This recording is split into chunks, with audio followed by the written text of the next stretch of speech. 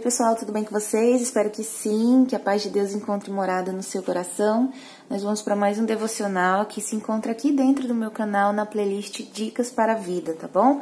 Então esse canal aqui, ele é um canal sim voltado para aulas em biscuit, mas eu também vou estar trazendo para vocês sempre nas segundas-feiras o devocional que faz parte da minha vida e compartilhar também um pouco da palavra de Deus com vocês aqui, tá bom? Então a gente criou a playlist para vocês encontrarem esses devocionais mais fáceis depois dentro lá daquela playlist e poder compartilhar com quem você quiser. Esse vídeo não vai estar monetizado, então você vai poder passar para os seus amigos, para seus parentes e eles vão poder assistir a mensagem, ouvir, né, a mensagem de Deus diretamente ali sem nenhum tipo de anúncio nem nada. As aulinhas do canal continuam normais, como vocês já conhecem, devido ao conteúdo que é educativo, tá bom? Então vamos lá. Aqui a gente vai começar com um tema que eu quero abordar com vocês essa semana durante cinco dias. Então a gente vai ter um especial aqui de devocional pela primeira vez. Então vai ser cinco reflexões essa semana, segunda a sexta, porque na próxima semana a gente vai dar uma pausa aqui do canal e retorna em janeiro.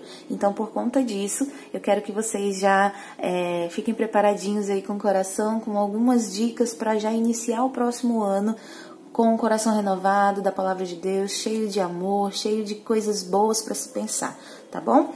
Então, eu peguei esse livrinho aqui que eu sempre uso com vocês. Esse ano a gente usou bastante esse Bom Dia Amigo, que é de Israel Belo de Azevedo, na versão 2019. Mas é, eu não sei se vocês vão encontrar essa publicação para o próximo ano. Eu comprei em lojas de departamentos cristãos, então livrarias evangélicas, livrarias cristãs, vocês encontram vários tipos de devocional. Além desse aqui, tem muitos outros que eu gosto e que eu vou indicar para vocês no final desse vídeo, tá bom? Então aproveita que no final desse vídeo aqui eu vou dar dicas de outros devocionais. O que é o devocional, então, para quem está chegando pela primeira vez? São livros de meditações diárias durante todo o ano. São 365 meditações para vocês lerem uma por dia e serem aí alimentados na sua alma, na sua motivação, né, refletirem sobre a vida. Então são coisas maravilhosas e sempre com o fundo da palavra de Deus, que sempre é o melhor para as nossas vidas, tá bom? Então eu estou usando esse livrinho aqui com vocês já há um tempo e eu escolhi aqui um roteirozinho para essa semana que são cinco devocionais que falam da mesma temática, que são mandamentos para o próximo ano, tá? Então, vou ler com vocês a partir de hoje.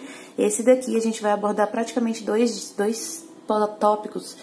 A gente vai abordar praticamente dois tópicos por dia, então o devocional vai ser curtinho. E se você continuar assistindo todos os dias, de segunda a sexta, essa semana, você vai ter a mensagem por completo. E você pode anotar aí no seu caderninho, né? E colocar como meta para sua vida também. Então, começando aqui a leitura de hoje, Mandamentos para o Novo Ano, a parte 1. Diz assim: As coisas não mudam porque as folhas do calendário mudam. No entanto, a passagem de ano pode ser bem-vinda e produzir em nós atitudes que nos permitam começar as mudanças que realmente precisamos operar. Reflitamos sobre duas dessas atitudes que podemos receber como mandamento em nossas vidas. 1. Um, não te compararás. Tu és uma pessoa única. Não tem que ser o que os outros parecem ser. Não tem que ter o que os outros têm ou dizem ter. Deus disse ao profeta Jeremias que ele era singular. Deus disse para Jeremias assim: Eu o conheci antes de formá-lo no ventre da sua mãe. Antes de você nascer, eu o separei. E o nomeei para ser profeta às nações. Está lá em Jeremias capítulo 1, versículo 5. O que disse a Jeremias, Deus te diz. A única diferença é que a tua missão é específica. Você pode não ser um profeta, você pode não ser um pregador, você pode não ser alguém ainda conhecido de nome, nada disso. Mas Deus te conhece, desde o ventre da sua mãe.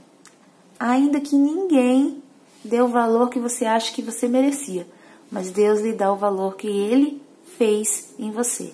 Ele mesmo te formou, Ele mesmo te criou. E Ele mesmo te separou com uma missão nesse mundo. Então você não precisa se comparar com ninguém. Você é você único e exclusivo, moldado por Deus a cada dia para ser melhor, para ser como Ele deseja que você seja. Então, a cada dia, mesmo errando, mesmo sendo falho, nós somos moldados por Deus através da Sua palavra, através da Sua vontade permissiva, né? Quando Ele permite que as coisas aconteçam na nossa vida, para que aquilo venha nos moldar. E quando nós damos abertura também para Deus, para que Ele venha nos usar. Então você não precisa se comparar com ninguém, você é único. Esse é o primeiro mandamento para o próximo ano. Você sempre se lembrar que você é único Não te compare a ninguém, tá bom? Segundo mandamento é: ao que é supérfluo, não te ligarás. Eu sei que tem coisas que são necessárias na nossa vida, principalmente na parte financeira, principalmente na parte de conforto, mas ainda assim a gente consegue administrar isso de maneira certa quando a gente está sendo guiado ali sem impulsos, quando a gente está sendo controlado muitas vezes para não gastar mais do que tem. Então fala sobre isso esse segundo ponto. Não corras para comprar aquilo que não precisa ser comprado. Não ame as coisas por mais que te digam que são necessárias. Não te endivides para adquirir o que pode sem passar dos limites, né? Sem possuir. Não te endivides para adquirir o que podes passar sem possuir. A recomendação do profeta Isaías deve estar sempre diante de ti. Por que gastar dinheiro naquilo que não é pão e o seu trabalho árduo naquilo que não satisfaz? Escutem, escutem e comam o que é bom, e a alma de vocês se deliciará com a mais fina refeição. Está lá em Isaías 55, 2.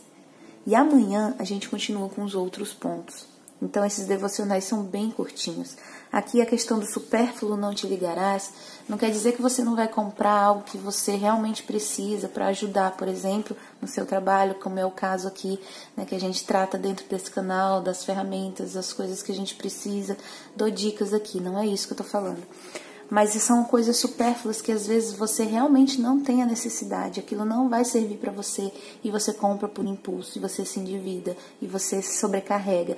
No próximo ano, começa também a colocar como meta na sua vida organizar essa parte, para que você possa usufruir do que Deus tem te dado da melhor forma, né? Que você entenda que aquilo que é necessário para você às vezes não precisa ser muito, pode ser pouco. E você pode passar sem determinada coisa aqui e acolá. E eu tô falando isso não só no âmbito material é, de trabalho, mas também em outras coisas da vida. Às vezes a gente quer preencher um vazio, né? Passeando, a gente quer preencher um vazio, gastando muito, a gente não sabe por que está se sentindo de determinada forma e quer preencher aquilo de com gastos, com gastos supérfluos. Então, você só vai encontrar satisfação na sua alma, satisfação com aquilo que você tem, quando você encontra essa satisfação em Deus. Então, que nesse dia você comece a pensar sobre isso. Que esses dois mandamentos, se você ainda não, não exerce na sua vida, já começa aí a pensar para o próximo ano, você já reduzir né, e mudar um pouco mais a sua rotina nesse sentido. Não te compare mais a ninguém e também não se liga a muitas coisas supérfluas.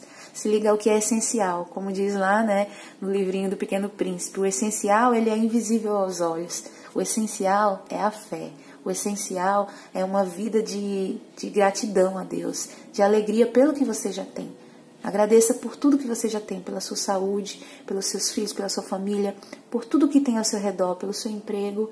E se você não tem nada disso no momento, se você não tem apoio da família, se você não tem no momento aí o seu emprego fixo, se você no momento está enfermo, saiba também que isso vai passar.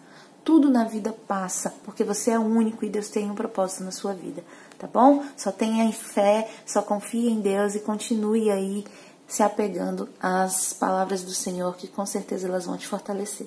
Tá bom? Um beijo, fiquem com Deus e até o vídeo de amanhã. Lembrando que também para o pessoal aqui do Biscuit tem um vídeo hoje à noite, 8 horas da noite, falando sobre planejamento 2020. E eu quero agora, no final desse devocional, indicar para vocês alguns livros que também têm essa temática de leitura diária durante todo o ano.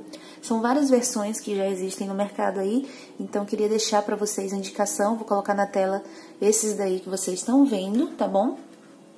Que são livros maravilhosos. Eu vou pegar aqui e vou comentar com vocês esses livros. Tem aí o Pão Diário, tá? Que ele é muito conhecido, tem várias capas. Todo ano a capa dele muda. Então, quando você chega nas livrarias evangélicas ou online mesmo nas livrarias, vocês vão ver que tem a capa de linha diferente. Aí você procura o do ano que você está usando, tá? Tem esse do, Dias, do Hernandes Dias Lopes, Gotas de Consolo, que é uma série de livrinhos que ele tem também. Consolo para a alma, Alegria para a alma, Sabedoria para a alma, enfim, tem vários. Tem esse do Max Lucado, que é Conectados com Deus, todo dia, né? Também. Ele é um devocional maravilhoso para jovens e adultos, muito bom, muito bom mesmo. Tem esse Orando em Família, que também é para se reunir a sua família, fazer um culto doméstico, fazer um momento ali diário com a sua família, maravilhoso também. Tem o Presente Diário, que é bem nessa temática desse que eu tô lendo aqui. Tem o Bom Dia, né, do Max Lucado, que também é muito bom. E tem o Pão Diário para Crianças também, se você quiser abençoar as suas crianças, para elas que já leem, né, poderem também é, receber um pouco mais da palavra de Deus, ou para você mesmo ler para o seu filho à noite, quando ele vai dormir. Então é bem interessante, tá bom? Essas são minhas dicas e esses livros vocês podem encontrar, por exemplo, na Casa da Bíblia Online ou em lojas, livrarias como Saraiva, essas livrarias assim. Não tem é, parceria com nenhuma dessas lojas, porém o que é bom a gente indica e aqui eu indico também, além desses aqui que são compráveis, vou indicar para vocês um que é online, você faz um cadastro online e você recebe na sua casa de três em três meses é, esse devocional com uma doaçãozinha básica, simbólica, às vezes 10, 15 reais, e você vai receber durante todo o ano, de 3 em 3 meses chega pelo correio para você. Então é uma opção bacana para quem não quer comprar o livro inteiro, né? Que às vezes o livro é um pouco mais é, caro dependendo do formato. Tipo, esse pão diário ele é super baratinho, tem ele de 7 reais, em alguns locais 8, 10, não sei. E tem os outros Orando em Família que já são um pouco mais grandes, né? São mais carinhos, chega a ser 30 reais e tudo. Então depende aí da loja, depende de onde você vai comprar, mas tem essa opção também online, se você pesquisar devocionais é, cristãos, tem vários sites que você se inscreve e recebe no e-mail, então não deixe de ouvir a palavra de Deus da maneira que for tá bom? Então é isso, eu espero que vocês tenham gostado desse vídeo. Um super beijo para vocês e te convido também a seguir a página Dicas para Vidas lá no Instagram, que lá eu também coloco foto dos livros que eu tô lendo, coloco trechinhos da Bíblia, converso com vocês um pouquinho e às vezes o devocional eu jogo um pouquinho lá também. Segue a página lá para me ajudar também, porque é um outro meio de divulgação da palavra de Deus e eu espero contar com vocês, tá bom? Um beijo, tchau, tchau.